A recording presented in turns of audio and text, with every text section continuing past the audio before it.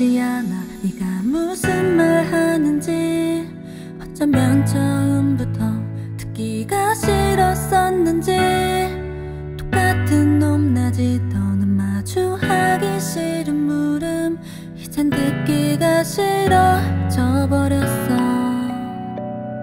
미루고 싶지 않아 사소한 말